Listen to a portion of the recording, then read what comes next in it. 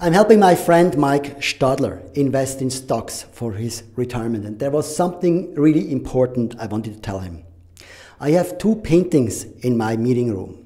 One is the painting that you see here. It shows the numbers 1, 2, 3, 4, 5, 6 in Arabic and in Chinese letters. Actually, very interesting.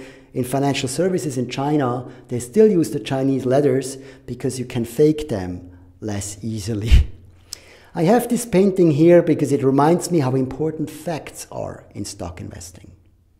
But I also have another painting here in my meeting room. And that other painting is from a friend of mine who went to the Amazon to take picture of an Amazonian tribe.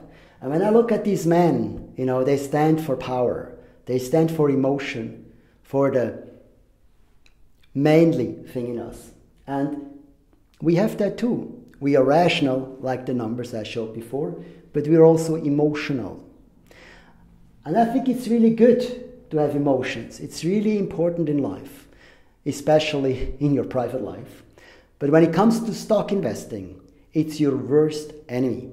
And why is that the case? Well, your emotions completely take you in the wrong direction.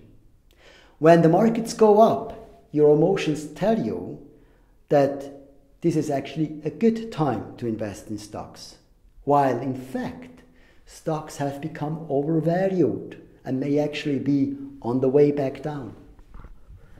As a matter of fact, any news you hear about the company, like shocking news, like the exhaust scandal from Volkswagen, is already in the stock prices included.